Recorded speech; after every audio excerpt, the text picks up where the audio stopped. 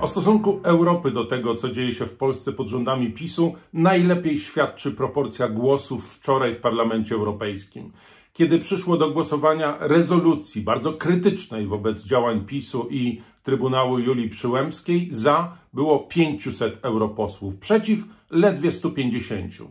Oznacza to, że ostatnie działania polskiego rządu, występ Morawieckiego w Strasburgu i Trybunału Julii Przyłębskiej krytycznie ocenia ponad 75% europarlamentarzystów. Taka jest miara klęski PiSu. Oczywiście rezolucja Parlamentu Europejskiego nie jest wiążąca. Wiążące są decyzje i działania Komisji Europejskiej oraz Rady Europejskiej. Wczoraj zebrała się Rada w pierwszym dniu szczytu unijnego, żadnego przełomu nie było. Nie dlatego, że opinie wobec Polski są tak bardzo podzielone. Nie, Polski, Polski Kaczyńskiego i Morawieckiego broni wyłącznie Viktor Orban.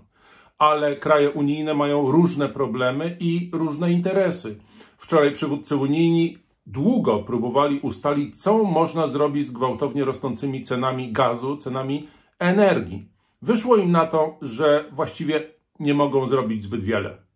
W sprawie Polski Podział był y, przede wszystkim taki. Kraje z północy Europy chciałyby ostrego potraktowania Polski i surowego potraktowania za łamanie zasad i praw unijnych, ale wiele krajów obawia się, że takie ostre potraktowanie Polski PiSu obudzi demony także w wielu innych krajach unijnych.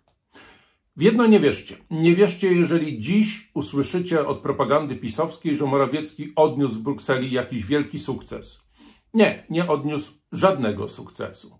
Gra toczy się dalej i niestety wszelkie środki unijne związane z wypłatami na krajowy plan odbudowy pozostają nadal w zamrożeniu.